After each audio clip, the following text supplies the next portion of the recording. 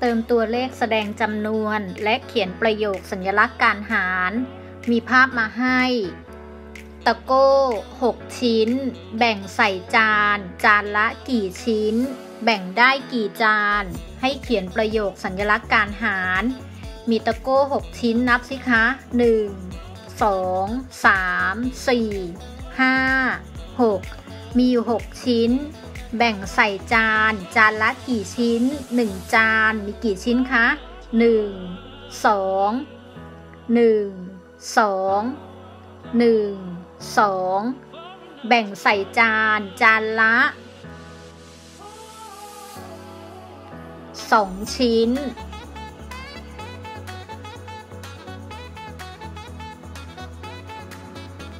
แบ่งได้กี่จานคะ นับจำนวนจาน หนึ่งสองสามแบ่งได้สามจาน ตะโก้หกชิ้น แบ่งใส่จาน จานละสองชิ้น แบ่งได้สามจาน แบ่งเท่าๆกันหลายๆ ครั้ง ต้องทำวิธีหาร ประโยคสัญลักษณ์ เราก็จะนำจำนวนที่มีอยู่ตอนแรกก็คืออะไรคะ ก็คือ 6 แบ่งครั้งละเท่าไหร่คะ 1 จานแบ่ง 2 ชิ้น 1 จานแบ่ง 2 ชิ้น 1 จานแบ่ง 2 ชิ้น ก็ต้องหารด้วย 2 ได้ทั้งหมดกี่จานคะ ได้ 3 จาน เท่ากับ 3 ประโยคสัญลักษณ์การหาร 6 หารด้วย 2 เท่ากับ 3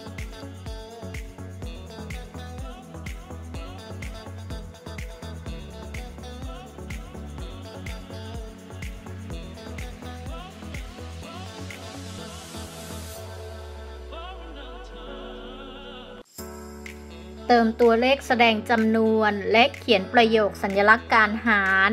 มีภาพมาให้ บอกว่า ขนมชั้น 20 ชิ้น จัดใส่กล่อง กล่องละกี่ชิ้น จัดได้กี่กล่อง ให้เขียนประโยคสัญลักษณ์การหาร มีทั้งหมด 20 ชิ้นนับสิคะ 1 2 3 4 5 6 7 8 9 10 11 12 13 14 15 16 17 18 19 20 มีขนมชั้น 20 ชิ้น จัดใส่กล่องกล่องละกี่ชิ้นคะ 1 กล่องมีกี่ชิ้น 1 2 3 4 1 2 3 4 1 2 3 4 1 สองสามสี่หนึ่งสองสามสี่หนึ่งกล่องมีสี่ชิ้นก็คือ จัดใส่กล่องกล่องละสี่ชิ้น จัดได้กี่กล่องคะ นับจำนวนกล่องหนึ่งสองสามสี่ห้าจัดได้ 5 กล่อง ขนมชั้น 20 ชิ้น จัดใส่กล่องกล่องละ 4 ชิ้น จัดได้ 5 กล่อง การแบ่งเท่าๆกันหลาย ๆ ครั้ง ต้องทำวิธีหาร ประโยคสัญลักษณ์การหาร เราจะนำจำนวนที่มีอยู่ตอนแรกก็คือ 20 หารด้วย 1 กล่องมีกี่ชิ้นคะ 1 กล่องมี 4 ชิ้น ก็หารด้วย หารด้วย